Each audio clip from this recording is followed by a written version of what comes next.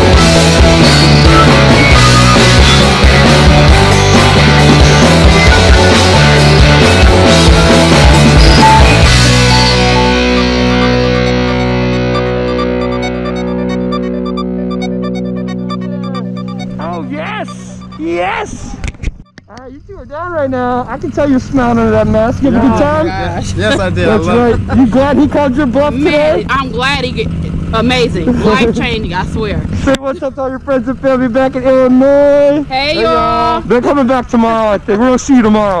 awesome job, girl. Awesome job, my man. Yes! Ah!